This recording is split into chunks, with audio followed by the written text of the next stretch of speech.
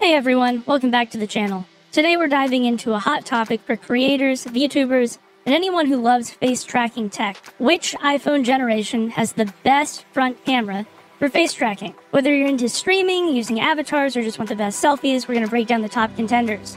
Spoiler alert, it's a close race. Let's start with the earliest model that introduced advanced face tracking features. The iPhone X was the first to bring Face ID and TrueDepth technology to the table, which opened the door to smoother face tracking. This model is the entry point for advanced face tracking using an iPhone. If you're on a budget, this is a great option as it does have the dot matrix that is required for Face ID to work. But if you're looking for something a little bit higher tech, let's take a look at the 11th, 12th, and 13th generations, which had an upgrade to their camera. These models stepped it up a notch by bringing in a higher megapixel sensor and changing to a wide-angled lens.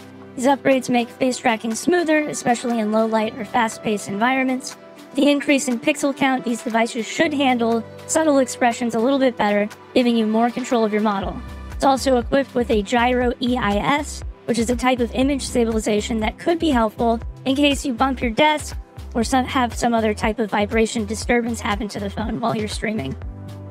One area of concern here is iOS updates. Uh, the iPhone X, the 10, is past its prime. It's not going to get any new iOS updates. However, Apple's known for a long product cycle, and that allows the consumer flexibility in how they want to upgrade and when they want to upgrade.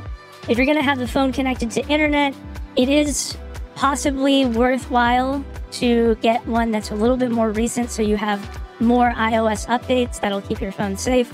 But if you are going to just connect it through USB, this might not be super necessary.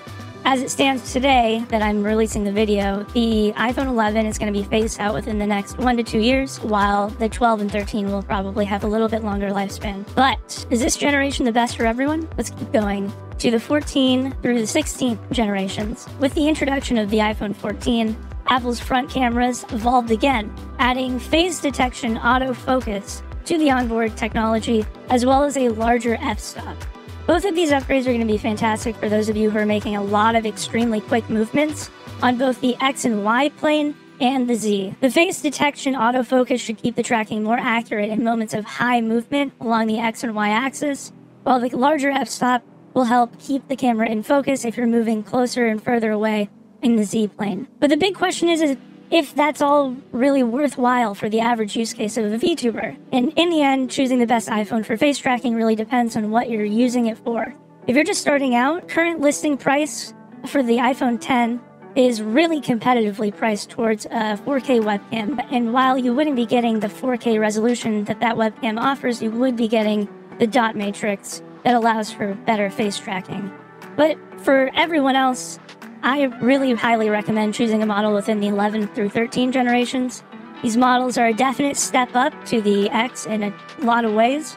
I'd place the price to performance of these models highest out of all the phones we've covered. The price point could be a little bit better, but uh, you know that you're going to not have to upgrade it for a couple years, and this is a really solid option for most people. If you're looking for a dual purpose, like uh, you know, you're going to use it as a phone and you're going to use it as a webcam, definitely I'd recommend getting a newer model. Tech upgrades here are not the biggest wow factor, but you'll have additional security knowing that your phone will continue to receive iOS updates and it'll probably be able to handle just about anything you throw at it. But which model is the best? For me, and likely for you too, that model is the iPhone 11.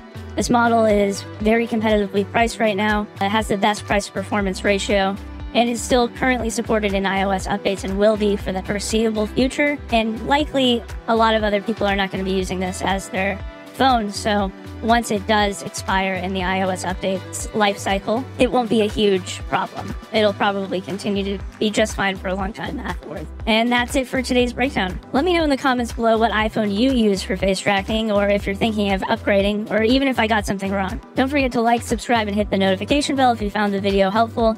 Until next time, keep creating.